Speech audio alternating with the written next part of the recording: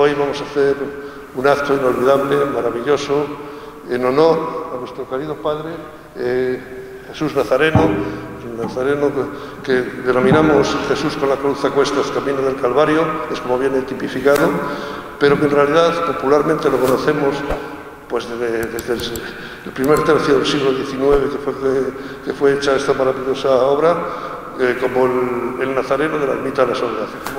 Pues Pablo, aparte, nació en un pueblo que, tiene la música pues, verdadera devoción por la música, de eso doy yo fe. Hay, más músicos que, otra cosa, que habitantes casi. He estado yo en conciertos con él y bueno, es un furor por, la música, algo, de locura.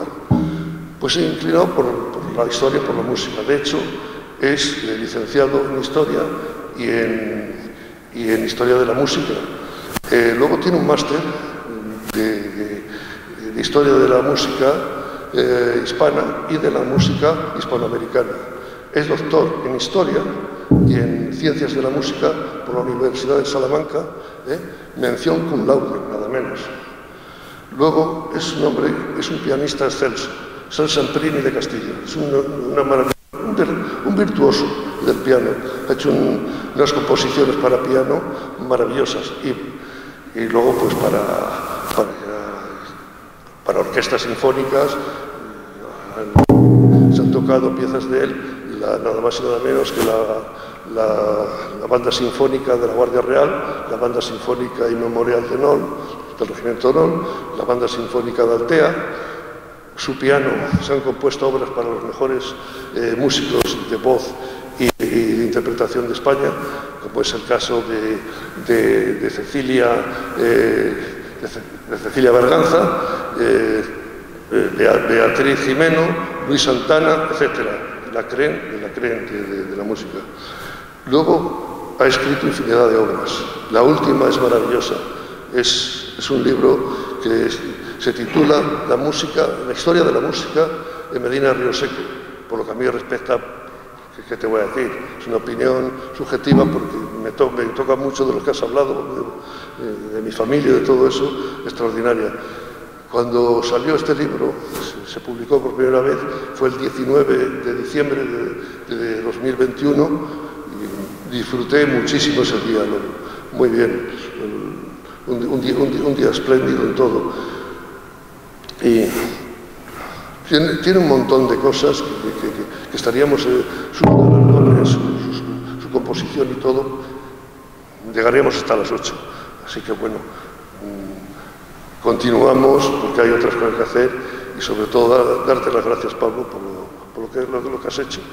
Y si quieres toma la palabra, ¿eh? que en realidad hay que hablar de la música y yo modestamente pues, creo que me he estado hablando y te corresponde a ti, que eres el número uno. ¿eh?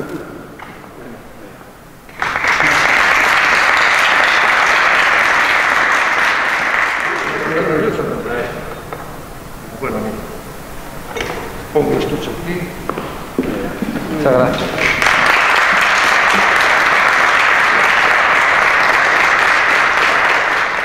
No sé si soy eh, eh, merecedor de tanto elogio como me ha dicho José Luis, muchas gracias.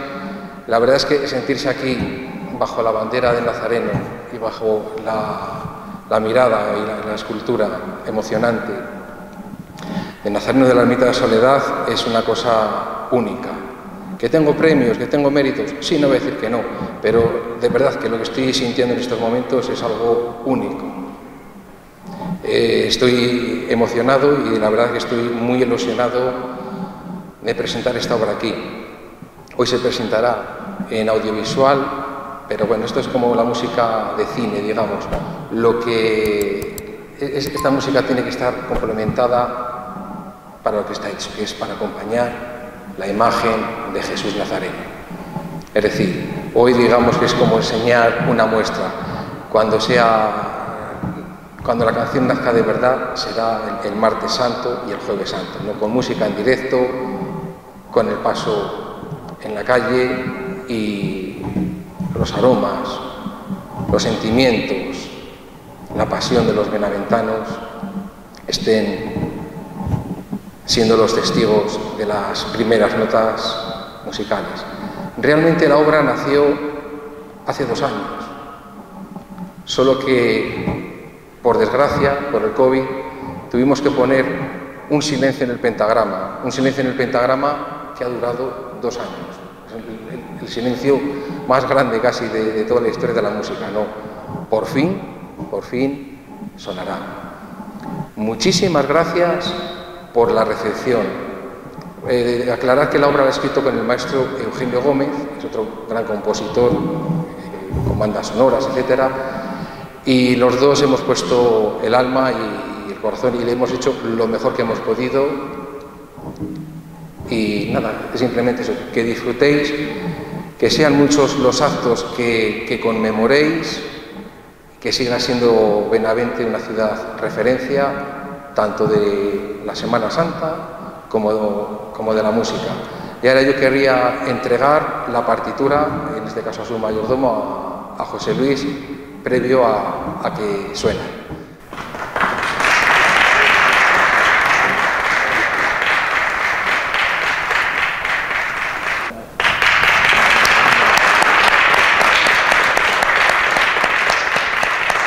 Entonces, cuenta Pablo con que ahora será un audiovisual, pero este año y en años venideros sonará por las calles permanentemente el Jueves Santo y el Martes Santo y el Viernes Santo, porque será nuestra. Y como tal, la llevaremos eh, siempre pues, como un pendón en el frontal de nuestras procesiones.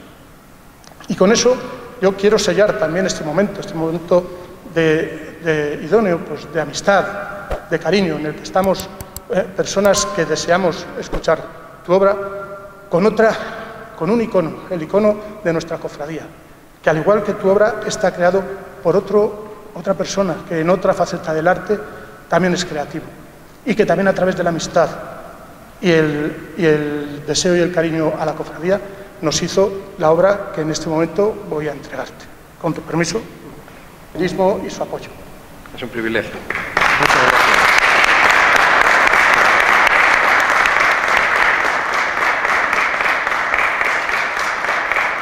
Bueno, a continuación escuchamos esta magnífica obra para deleite de todos nuestros oídos y, que afloren esas sensaciones que el arte siempre nos tiene que, remover. Gracias, hermanos.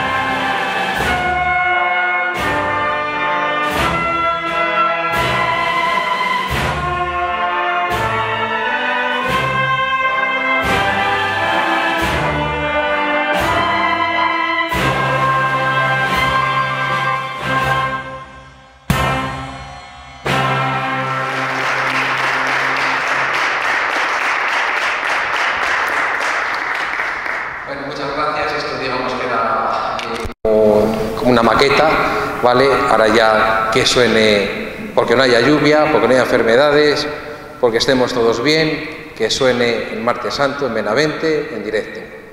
Que tengan buena Semana Santa y muchísimas gracias por esta buena recepción. Gracias.